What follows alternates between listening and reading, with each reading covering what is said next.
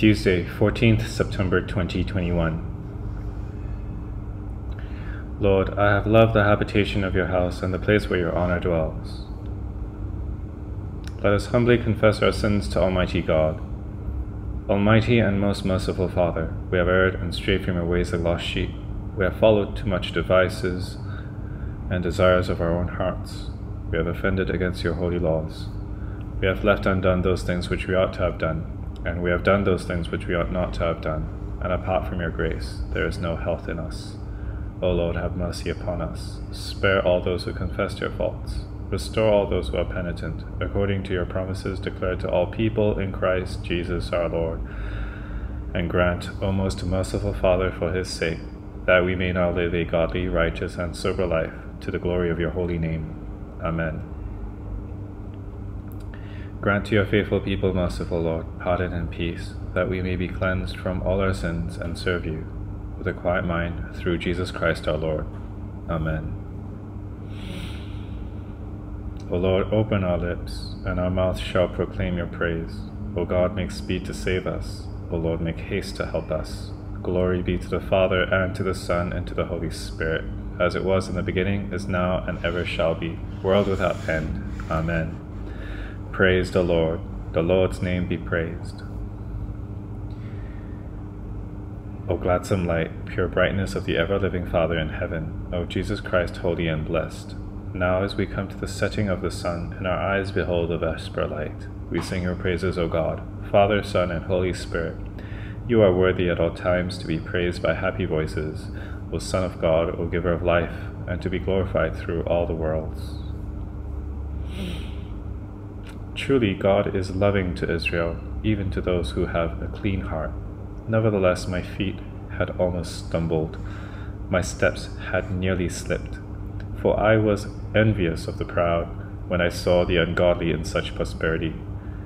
For they are not, for they are in no fear of death, but their bodies are healthy and strong. They come to no misfortune like other folk, neither are they afflicted like others. Therefore they wear pride as a necklace, and they wrap themselves with violence as with a garment. Their eyes swell with greed, and their hearts overflow with wicked thoughts. Their talk is malice and mockery. They have proud looks, and tyrannous words are on their lips. For they set their mouth against the heavens, and their evil speech spreads through the world. Therefore, the people turn to them and find no fault in them. They say, How should God perceive it? Is there knowledge in the Most High? Behold, these are the ungodly. They prosper in their ways, and they have riches in possession. I said, Surely in vain have I cleansed my heart and washed my hands in innocence. All the day long have I been afflicted and chastened every morning. Indeed, had I spoken as they do, then would I have betrayed the generation of your children. When I sought to understand this, it was too hard for me. Until I went into the sanctuary of God, then I understood their end. Surely you set them in slippery places and cast them down and destroy them. Oh, how, how suddenly are they consumed! They perish and come to a fearful end. Indeed, like a dream when one awakens, so shall you make their image vanish out of the city. Thus my heart was grieved, and I was wounded within. So foolish was I and ignorant, as if I were a beast before you. Nevertheless, I am always with you, for you hold me by my right hand. You shall guide me with your counsel, and after that receive me with glory. Whom have I in heaven but you? And there is no one on earth whom I desire in comparison with you. Through my though my flesh and my heart fail me, God is the strength of my heart and my portion forever. For behold, those who forsake you shall perish. You destroy all those who are unfaithful to you. But it is good for me to hold fast to God, to put my trust in the Lord God, and to speak of all your works in the gates of the city of Zion. O God, why have you utterly cast us off? Why is your wrath so hot against the sheep of your pasture? O think upon your congregation, whom you have purchased and redeemed of old. Think upon the tribe of your inheritance, and Mount Zion, where you have dwelt. Draw near and behold how all is made desolate, and how the enemy has destroyed all that is in your sanctuary. Your adversaries roar in the midst of your holy place, and set up their banners as tokens of victory. Like hewers of timber in a thicket of trees, so have they broken down all the carved work with axes and hammers. They have set fire to your holy place, and have defiled the dwelling place of your name, even to the ground. They said in their hearts, Let us make havoc of them altogether. Thus have they burnt up all the houses of God in the land. We do not see any signs. There is not one prophet anymore. There is no one who knows how long these things shall continue. O God, how long shall the adversary do this dishonor? How long shall the enemy blaspheme your name forever? Why do you withdraw your hand? Why do you not take your right hand out of your bosom to consume the enemy? For God is my King of old. He is the one bringing help upon the earth. You divided the sea through your power. You, you broke the heads of the dragons in the waters. You smote the heads of Leviathan in pieces and gave him to be food for the people in the wilderness.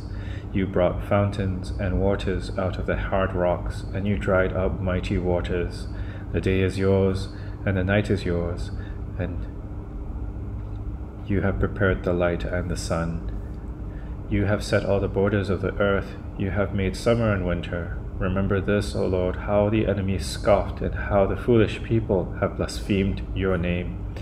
Deliver not the soul of your turtle dove to the wild beasts, and Forget not forever the lives of your poor. Look upon your covenant, for the dark places of the earth are full of violence. Let not the oppressed go away ashamed, but let the poor and needy give praise to your name. Arise, O God, maintain your own cause. Remember how the foolish one blasphemes you daily. Forget not the voice of your enemies, nor the, nor the tumult of those who hate you, which increase ever more and more. Glory be to the Father, and to the Son, and to the Holy Spirit, as it was in the beginning, as now, and ever shall be, world without end. Amen. A reading from the Epistle to the Hebrews, beginning with the fourth chapter, the fourteenth verse. Since then we have a great high priest who has passed through the heavens, Jesus, the Son of God. Let us hold fast our confession. For we do not have a high priest who is unable to sympathize with our weaknesses, but one who in every respect has been tempted as we are, yet without sin. Let us then, with confidence, draw near to the throne of grace, that we may receive mercy and find grace to help in time of need. For every high priest chosen from among men is appointed to act on behalf of men to, in relation to God, to offer gifts and sacrifices for sins. He can deal gently with the ignorant and wayward, since he himself is beset with weakness. Because of this, he is obligated to offer sacrifice for his own sins, just as he does for those of the people. And no one takes this honor for himself, but only when God, when called by God, just as Aaron was.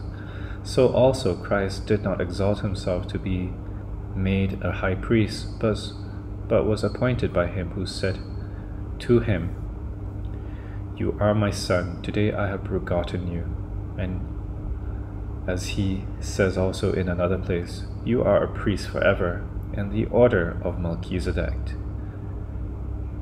In the days of his flesh, Jesus offered up prayers and supplications with loud cries and tears to him who was able to save him from death, and he was heard because of his reverence. Although he was a son, he learned obedience through what he suffered. And being made perfect, he became the source of eternal salvation to all who obey him, being designated by God a high priest after the order of Melchizedek. This is the word of the Lord. Thanks be to God. My soul magnifies the Lord, and my spirit rejoices in God my Saviour, for he has regarded the lowliness of his handmaiden. For behold, from now on all generations will call me blessed, for he that is mighty has magnified me, and holy is his name. And his mercy is on those who fear him throughout all generations. He has shown the strength of his arm, he has scattered the proud in the imagination of their hearts.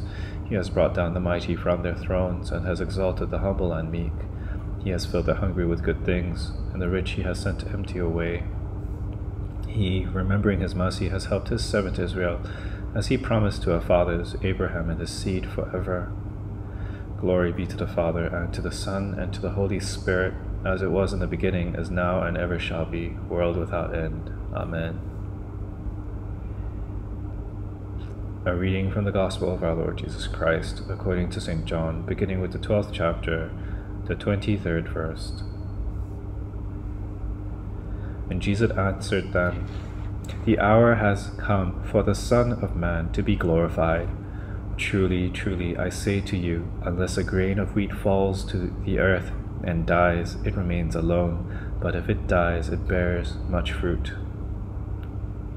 Whoever loves his life loses it, and whoever hates his life in this world will keep it for eternal life. If anyone serves me, he must follow me, and where I am, there will my servant be also. If anyone serves me, the Father will honor him. Now is my soul troubled, and what shall I say? Father, save me from this hour? But for this purpose I have come to this hour. Father, glorify your name. Then a voice came from heaven I have glorified it, and I will glorify it again. The crowd that stood there and heard it said it had thundered. Others said, An angel has spoken to him. Jesus answered, This voice has come for your sake, not mine. Now is the judgment of this world. Now will the ruler of this world be cast out. And I, when I am lifted up from the earth, will draw all people to myself. He said this to show by what kind of death he was going to die. This is the word of the Lord. Thanks be to God. Lord, now let your servant depart in peace according to your word. For my eyes have seen your salvation, which you have prepared before the face of all people, to be the light of, to be a light to lighten the Gentiles, and to be the glory of your people Israel. Glory be to the Father, and to the Son, and to the Holy Spirit, as it was in the beginning, is now, and ever shall be, world without end. Amen. I believe in God, the Father Almighty, creator of heaven and earth. I believe in Jesus Christ, his only Son, our Lord. He was conceived by the Holy Spirit and born of the Virgin Mary. He suffered under Pontius Pilate, was crucified, died, and was buried. He descended to the dead. On the third day he rose again he ascended into heaven and is seated at the right hand of the Father. He will come again to judge the living and the dead. I believe in the Holy Spirit, the Holy Catholic Church, the communion of saints, the forgiveness of sins, the resurrection of the body, and the life everlasting. Amen. The Lord be with you and with your spirit. Let us pray. Lord, have mercy. Christ, have mercy. Lord, have mercy.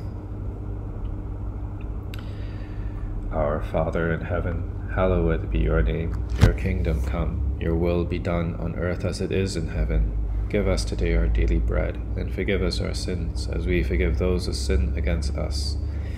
Save us from the time of trial, and deliver us from evil.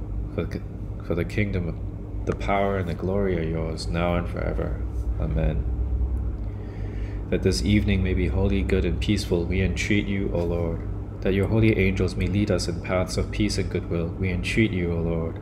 That we may be pardoned and forgiven for our sins and offences, we entreat you, O Lord. That there may be peace in your church and in the whole world, we entreat you, O Lord. That we may depart this life in your faith and fear, and not be condemned before the great judgment seat of Christ, we entreat you, O Lord that we may be bound together by your Holy Spirit in the communion of the Blessed Virgin Mary and all your saints, entrusting one another and all our life to Christ, we entreat you, O Lord. Almighty God, whose Son, our Saviour Jesus Christ, was lifted high upon the cross that he might draw the whole world to himself, mercifully grant that we, who glorify in the mystery of our redemption, may have grace to take up our cross and follow him, who lives and reigns with you and the Holy Spirit, one God, in glory everlasting. Amen. O God, because without you we are not able to please you, mercifully grant that your Holy Spirit may in all things direct and rule our hearts, through Jesus Christ our Lord, who lives and reigns with you and the Holy Spirit, one God, now and forever. Amen. Lighten our darkness, we beseech you, O Lord, and by your great mercy defend us from all perils and dangers of this night, for the love of your only Son, our Saviour Jesus Christ. Amen. O God, you manifest in your servants the signs of your presence. Send forth upon us the Spirit of love that in companionship with one another your abounding grace may increase among us, through Jesus Christ our Lord. Amen. O most mighty and merciful God, in this time of grievous sickness we flee to you for comfort. Deliver us, we beseech you, from our peril. Give strength and skill to all those who minister to the sick prosper the means made use of for their cure, and grant that, perceiving how frail and uncertain our life is, we may apply our hearts unto that heavenly wisdom which leads to eternal life, through Jesus Christ our Lord. Amen. Almighty God, whose blessed Son Jesus Christ went about doing good, and healing all manner of sickness and disease among the people, Continue in our hospitals his gracious work among us, especially in this time of plague and pandemic. Console and heal the sick. Grant to the physicians, nurses, and assisting staff wisdom and skill, diligence and patience. Prosper their work, O Lord, and send down your blessing upon all who serve the suffering through Jesus Christ our Lord. Amen. Almighty God, Father of all mercies, we, your unworthy servants, give you humble thanks for all your goodness and loving kindness to us and to all whom you have made. We bless you for our creation, preservation, and all the blessings of this life, but above all for your immeasurable love in the redemption of the world by our Lord Jesus Christ, for the means of grace and for the hope of glory. And we pray, give us such an awareness of your mercies that with truly thankful hearts we may show forth your praise, not only with our lips, but in our lives, by giving up ourselves to your service, and by walking before you in holiness and righteousness all our days, through Jesus Christ our Lord, to whom with you and the Holy Spirit be honor and glory throughout all ages. Amen.